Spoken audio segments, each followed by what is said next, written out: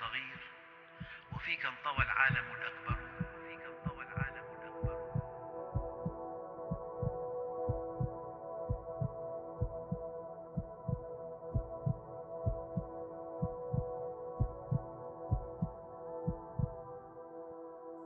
في بالقرآن تقريبا 1300 آية تتحدث عن الكون والإنسان.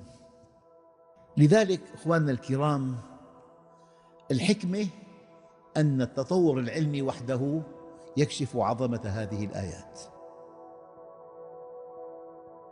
بعد مئة عام من تطور علم الأجنة تبين أن الذي يحدد نوع الجنين ذكرا أو أنثى هو الحوين وليس البويضة. افتح القرآن. وأنه خلق الزوجين الذكر والأنثى من نطفة إذا تمنى قبل اكتشاف أشعة الليزر التي تقاس بها المسافات بدقة بالغة بالميلي قال تعالى غلبت الروم في أدنى الأرض. وهم من بعد غلبهم سيغلبون. بعد اكتشاف أشعة الليزر أعمق نقطة في الأرض غور فلسطين. وفيه تمت هذه المعركة. من هذه الإشارات 1300 إشارة. كلها تؤكد تأكيدا قطعيا يقينيا أن الذي خلق الأكوان هو الذي أنزل هذا القرآن. برحلة أبولو 8 إلى القمر رواد الفضاء بعد حين من إطلاق المركبة قال أحدهم لقد أصبحنا عميا لا نرى شيئا.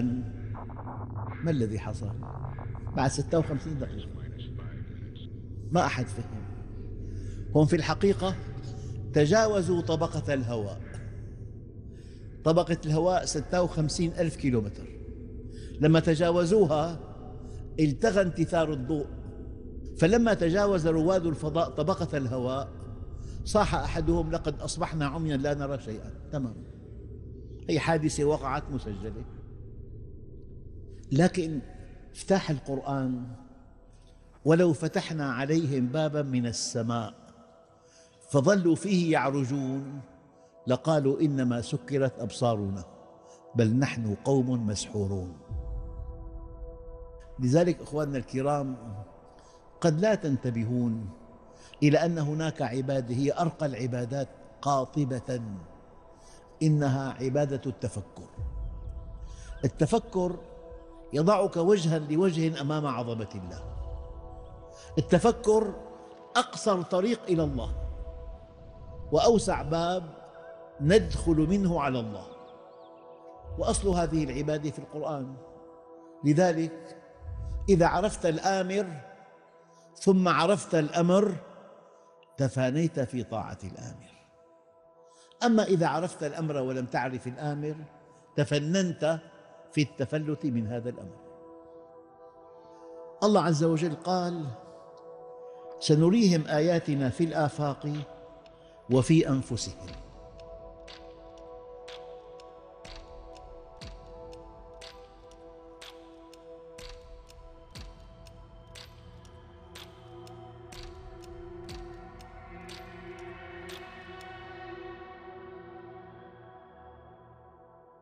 أخواننا الكرام أقصر خلية بالإنسان خلية الأمعاء الدقيقة.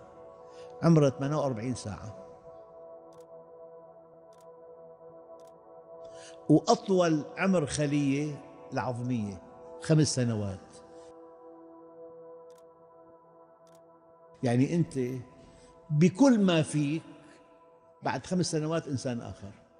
بكل ما فيك إلا الدماغ والقلب. الدماغ 140 مليار خلية سمراء استنادية لم تعرف وظيفتها بعد حتى الآن. هذا الدماغ أعقد شيء في الكون ومع أنه أعقد شيء هو عاجز عن فهم ذاته. هذا الدماغ.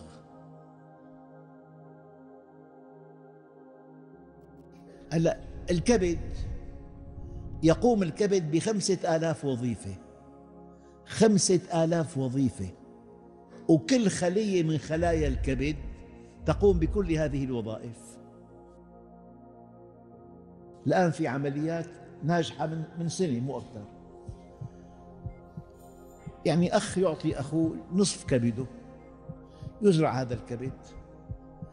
الكبد يعيد بناء ذاته بعد ستة عشر أسبوع. ممكن إنسان تشمع كبده كليا أن يأخذ من أخيه قسم من كبده والكبد ينمو خلال أسابيع. خمسة آلاف وظيفة تقوم بها كل خلية.